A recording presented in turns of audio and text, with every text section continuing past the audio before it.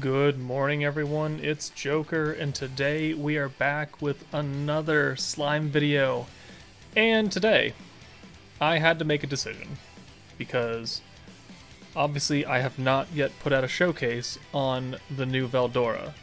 Because, quite honestly, I've been using him for all the other showcases, and so if you haven't really picked up on my on what he does and how good he is and how good he leads the space team, then I think you need to go rewatch those videos.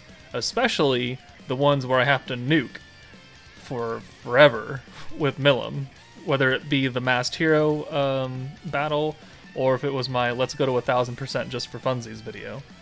So you should know by now what Veldora does. So I don't think I need to do a showcase just dedicated to him. So today, I decided that I will make a showcase between Veldora and Chabby.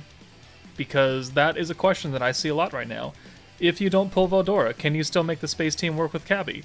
If you don't have Chabby, will Veldora take his place? You know, is one better than the other? We're gonna find out today, boys and girls, ladies and gentlemen, people of the world. Uh, because, honestly, personally, right now, I think Cabby's better. But maybe I'll change my opinion of uh, Veldora as we record this video.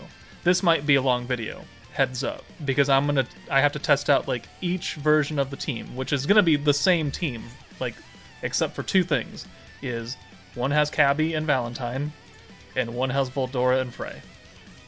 You know, regardless of if you know Frey is free to play in level 100 and my Valentine's 84 and not free to play, uh, that, that doesn't matter. I only use them for the. I'm only using them for the orb change. Like literally nothing else. Maybe Valentine's heal, but whatever. This is the same team. Alt boost, attack boost, crit boost, DPS. Alt boost, attack boost, crit boost, DPS. Literally the only difference is the the orb changer. So you can't fault me for this. But I have to take both these teams into each stage and run them, you know, in tandem and see, you know, what works better, what turn I can kill faster, how many ults I get, how often I can get everyone online. That's all going to be calculated in this video, so it's gonna be a long video. Like, probably 30 minutes of plus. Buckle up, kiddos. We're in for a ride today. Alright guys, before we move on to the actual, like, Veldora versus Chabby debate, um, I thought I'd throw this in here, so I would like to see a different comparison. How much a 50% stack of the Veldora alt boost compares to a 50% stack of the Space Veldora space attack boost. So we have stacked up, uh, okay, so we can show here. So we've stacked up 50% from the Wind Veldora, so maximum power. And then we're going to use the primary buffs that you would find on the new space team. So we're not going to use the Pierce, because I'm not bringing Dark Shion, Dark Shion on the space team. But let's go ahead and use the alt boost here. And then I'll go ahead and bring... Nope. I'll bring Milim in for Milim. And then I'll bring the hero in for Shion. And now we can use the attack boost, the space attack boost, the crit, and then the Drago. And we will see, you know, what our baseline damage is right here. And then we'll compare it to a 50% extra space attack boost on Milim next. So this does 125 9. 125 9. So let's come back and see the difference in damage output between the two protectors. Okay, we are back, and so I've only used four stacks of Veldora technically because he already gives Milim 12%. So 52% after four stacks is the closest I can get to a 50% boost equivalent from the Wind Veldora since he obviously does not boost Milim naturally. So 52, 2% extra space attack technically, but we have you know the same amount of skill points, and so we're going to do the same amount of buffs. So the attack boost, the space attack boost, the Drago, the Wind Milim buff, and then we'll bring in uh, the hero and add her buff in there as well. Okay. So, as close as we can get to equivalent levels of boost, and how much damage do we do here? I think it was like, what, 129.9 or something like that? Somewhere close? And we do 135.1.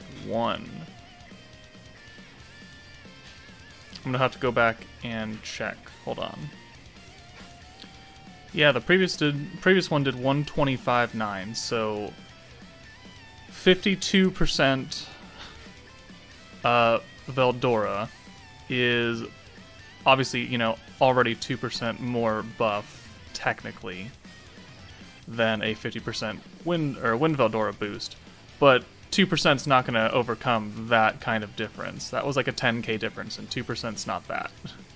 So already, Veldora will match or exceed the damage for a space unit versus Wind Veldora's ultimate boost, but only for a space unit, obviously. So that's just interesting science right there. Let's move on to the actual showcase. Alright, guys. I've been searching around, and surprisingly difficult to find a neutral battleground where we can test a team of space using, you know, focusing on greens versus a space team focusing on blues. And it pretty much narrows it down to the new Tempered Edge stages. Because Sky Dragon nerfs blues, while most of Crucible, where you use space units at high level, nerfs blues. So it's not a very fair testing ground. So we're just gonna run Tempered Edge EX2 uh, this is the space team with Frey, obviously, and Veldora. So we'll see how well this runs and like kind of damage output, turn restrictions, how often we get ults, how fast can we build up damage. Uh, it's we'll just kind of have a, a fun testing ground. So here, actually, we have a decent hand. So I'm just gonna flip out Milim for the hero. And I'm just going to send these two blues, that way we can maybe have a full hand of Frey next turn that we can then flip into a whole hand of Space Milim. And it almost worked out. It almost worked. It's close enough. It'll get us an alt gauge, or a, a protection meter at the very least. So let's swap you out. And then we'll go ahead and start building up that 10% with Veldora. So the thing about the blue team is, since Veldora doesn't boost blue gauge by himself, it's kind of difficult to get him online if you don't ever get blue hands. And it's like, yeah, you could have this happen and then you just bring Frey in and then everything's hunky dory. I'm eating my own words as I speak. So the possibility does exist where you will get terrible RNG and never get a blue orb, which means that you will very likely not be able to build up Veldora all that quickly. But on the other hand, this can happen too, where you can get this. But I'm sure in some other runs, I'm not going to be able to get this kind of luck. And really, the same goes for the Chabby team as well. But if you get greens, greens give you everything. So it's like, the RNG is the same but also less because you're still looking for certain typing of orbs, but if you do get those, then you don't need as many of them to do what you would like them to do. Um, so here, I'm going to use another Veldora, so that's 20% that we've stacked up already with Veldora. And I think I'm just going to orb change again with Frey, because that'll get us another 5 send, and that's perfect. So I'm going to send all these, we still are two orbs shy of both Hero and Milim's ult, and a cheeky counter, because why not? and so 46, 68. I think the five hand earlier did like 44, 43, somewhere around there. But okay, so here we go. We have two blue orbs and four nerfed oranges, which, you know, is not the greatest thing in the world, but we're again going to stack up with Veldora and she's about to nuke someone, and I really don't want Milim to die. So I'm gonna flip you out for Rimuru. Rimuru? And I really don't care if Frey dies. Like, she has served her purpose twice already of orb changing. But let's go ahead and send these hero cards. That will get her ult. Because, yeah, barely. Barely. But we can get her ult. And we've now stacked up with Veldora three times. And we have still only gotten one alt so far. That hurt a lot. Okay, cool Beanos. Um, what are we feeling here? What are we feeling? I think we're gonna swap Frey out for Milim. And then we can get her alt too. And where does that put us in terms of points? 206 of 220. So we would need 210 to use all four of the big boosts that are on the space team right now. Well, mostly space team. Uh, because we're we would want to use the attack boost with Rimuru, the crit boost with the hero, Milim's space boost, and then I've got Wind Milim in the back for her alt boost. We would need four extra points, but again, right now we can easily do that. And we have another Veldora gauge, which I think this is the fourth time that we've stacked it now. Uh, fifth? No, yeah, fourth time, fourth time, 52%, because we start at 12. Uh, so let's go ahead and just send these Rimuru cards. That'll get us plenty of points to use everything. And then next turn, turn 8, we can nuke her out of existence, because I have no doubts that Milim by herself will kill here. How much health does she have? Even with her resistances. Even with her physical and magic resistances of 80% and 147.9 HP, uh, if we use everything here, we will kill. So let's go ahead and use the attack boost. And then let's go ahead and bring in Wind Milim for Space Rimuru, who has no cards. Just noticed that. One of my many flaws, I fail to notice orbs all the time. So we'll do that. And then we will go ahead and use the crit boost, the space boost, the dragon form, and that's it. So Milim, with 52% of the, well, four stacks of Veldora, all of the boosts, we're looking at, you know, a relatively reasonable percentage, 62.4 after the Drago takes effect. And it wasn't, I wouldn't say difficult to get to this point. We did get decent RNG with the blues, but we can get decent RNG with greens at the same time. So let's go ahead and just send all these. We're, we're going to kill. Like, if she doesn't kill, I will actually be surprised. Level 96 Milim with a 12 star glove on, with the 100 Ranga attached to her. Like, she's gonna hit probably like 160, 170k. And again, she has like 147 HP. So we hit. Oh. Well, we barely killed. Okay, well, less than I thought she would do. But we still one shot her with that ult so I cannot be upset with that outcome. So now that we've seen that, oh, we got space core too. Now that we've seen a reasonable turn limit, that was what eight turns. Let's come back into the same stage and we'll run the Veldora team, and we'll see if we can try and recreate that in the same amount of time, or less, hopefully, quote unquote. Be right back. Alright, guys, we are back I think I said that in the last part that I would switch to the Veldora team when I was very clearly using the Veldora team, so that's my bad. I meant the Chabby team. So, like I said before, the only difference in this team is the protection character, which is Chabby now, and then the orb changer, which is Valentine. So we've swapped one special orb changer for the other special orb changer. And again, the game loves to troll me and give me really, very good hands to start out when I'm not in Conquest, and I'm not trying to do something very, very specific. So right here, we're just to swap Milim in for Milim, and I think we'll get the protection gauge here, and we'll also probably get an alt. We will not get a protection gauge here, but we will get an alt. Okay, well, that's fair. Alright,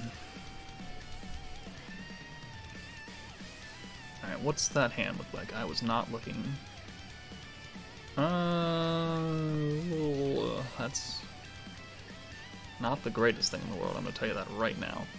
But we already have an alt with Milim, and I wouldn't say that's because of Chabby. I think that's that's just because of the orb, the start of hand orb RNG. So we can't really count that against Veldora for not giving us an alt turn two because we got a whole bunch of blues and greens on his turn, so that's not going to get us an alt.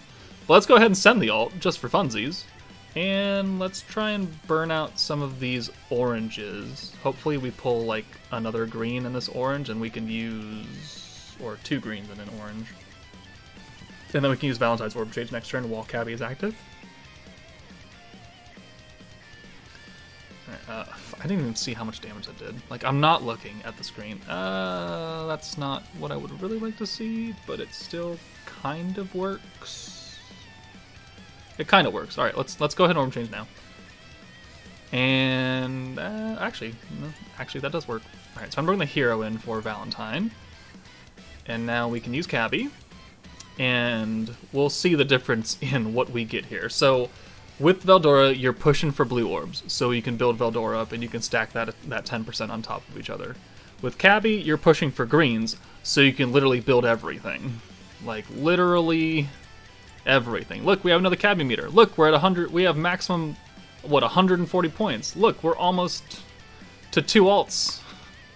Like, that is the power of Chabby, and it, it cannot be understated that if you have the team to push greens, and you have Chabby, you can run the world.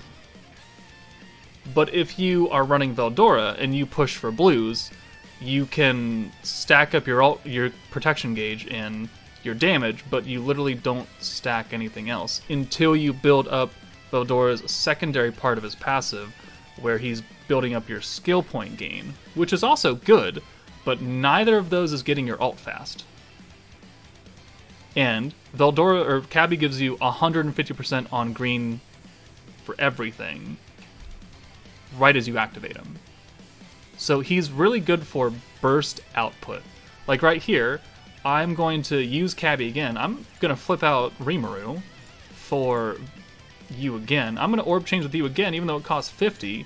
And we're literally going to make that all back and probably get up to 180 points right here because that's how much greens do. So let's take a look. Yeah. And look, we have an alt. We have an alt and a half. We have yet another Chabby meter. We're at maximum points. It's like it's this is not hard to do with this team. But the thing is, is that we're not adding any additional damage onto ourselves for that, you know, that final nuke right here. So we're not going. To well, that's okay. That's unfortunate we're not going to do as much damage as the Veldora team is. Like the straight up. We're going to use the same buffs. We're we're going to try and get to that point where we can use all four big buffs and the Drago. And Milim is not going to hit 148k. Like it's just not going to happen. She'll probably hit like 98, maybe 100. Maybe she'll break 100. But we're not going to do 148 and we're not going to one-shot her out of existence because she has too much health.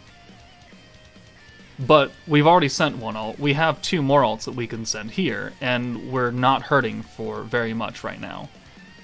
Right here is not the greatest hand because I want to save this ult, because I don't want to nuke her with a nerfed unit, and I don't have enough skill points to use all of the big buffs. But at the same time, we still have gotten three alts in the time it took to get, what, like one? Two, maybe, with the previous team? and we're still on turn five. So just pointing that out for you know reference, quote unquote. And I'm gonna send all. I'm gonna send you guys. Uh, I'm actually gonna flip the hero out too, and bring in that other green. That's an orange. So yeah, let's send these. Hopefully we pull a green and an, and that orange alongside. Do I flip out Milim too? I actually think I flip out Milim, because I'm not going to nuke next turn either. Ooh. Ooh. Okay. Um... Do I risk it? Do I risk it for the biscuit? I think I do. Alright, we're gonna send those. Hopefully we can pull one orange and a couple greens here. Oh, look at that. Look at that shit. Look at that shit. That hurt. Also, look at that shit. Okay. Oh, that's not what I wanted. I misspoke. But, you know what we can do is... Ah, uh, no, we can't, because I, I need her. Um, well... Will this get, what will this get us? That'll get us maximum points. 220, which is what we're to need. So... let's uh, let's do a little bit of this. Let's do a little bit of funsy onesies here, and we can get a double alt with Milim and maximum points. I guess this would be a great time to showcase also that the oh we no, we can't use the rewind because we have everything else to use. So how much health does she have here? I'm ranting a lot. 167,000 HP, so about 20,000 more than she had in the last fight. And I can already guarantee you that we're not going to hit nearly that far. But we do have, you know, this ult. So let's go ahead and let's take you out. No, let's take let's put you in first. There we go. Let's play smart, not hard. All right, alt boost, and then the hero comes in. And actually, no, I think we had more points last time because we can't even use the Drago here, huh? Did I just fuck myself? I totally just fucked myself. Alright, we'll, we'll go ahead and use this, and then I'll come back when we actually can use the Drago. That way it's fair. well, that's unfortunate. Or maybe it's not unfortunate, because we do have a double ult. You know what? Fuck it. We're gonna send it. We're not gonna kill. Well, we might kill. I am rambling right now, guys, okay? Alright, let's go ahead and send this. How much damage does this all do? 57.2. Oh, we're okay, we're gonna kill. 57.2 and then 89.1. Oh, we're not gonna kill. We are to kill. I'm all over the place today. Okay. So we killed turn 7. And the first one was turn 8. And whoa, the fangs. Oh my god, it's always a delight to see me get fangs. Okay. So, this team, I think, runs very effectively in short term bursts because you were able to build up so much in a short amount of time. Like, if you can get Chabby online turn 2, and then you can magically get a whole hand of greens, like, you are at a max 140 skill points, you have almost 2 meters of Chabby built up again, and you have almost like one and a half alts for everybody. That's turn 2, if you can get that RNG turn 2 Veldora, if you have Godly RNG and you can get him online turn 1, you have an extra 10% space damage and a 50% skill point gain in all your orbs. And that's it. That's it. You're definitely not looking quite like you would be with, you know, triple ults and 140 skill points. Maybe you may, well, maybe no, because you no, you'd be maxed out maybe you could get back to, you know, 140 if you were lucky. But it's real it's less realistic to do that than it is for Chabby. Because the 50% is not 150%. And it's already boosting greens, which already gives you skill points. So I think again, short-term events, Chabby is better. But if you're going for a long-term nuke, like over over eight turns or so, and you get relatively good RNG and you can build up Veldora, you know, three, four, five times, you are going to hit very, very hard. Very hard.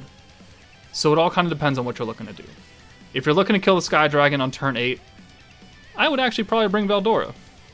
But the Sky Dragon nerfs blues which is why I didn't bring him in this test. It's like it's only this two fights, and I'm talking a lot because I have a lot to say. But if I were to take, you know, a team into story mode or something, I'm gonna take Chabby, just because it's easier. He'll clear it faster. You'll get an alt turn two, and you and you win, and it just saves time. So I guess that's the whole point: is they do very different things. One is one better than the other, in certain aspects, yes. But if you were to put them on paper, it's like, who do I think is better? I would probably still say Chabby is better. And you're totally fine to disagree with me on that. Totally fine. Everyone can have their own opinion. People like Veldora more than Chabby. People like Chabby more than Veldora. 100% fine. But personally, I find more use and less RNG dependency on Chabby than Veldora. But let me know what you guys think in the comments. I would like to know how the community is split on this and how many people favor one side or the other. But for now, take it easy, guys, and I'll see you later.